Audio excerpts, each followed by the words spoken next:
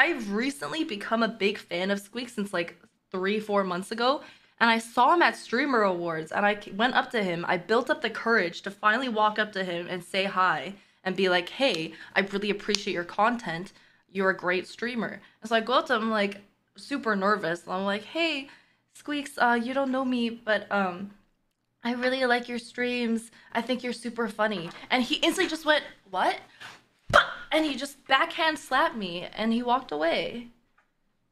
He didn't even say thank you for the compliment. And so I just had to sit back down in my seat. And it was really awkward because a lot of people saw. Super embarrassing.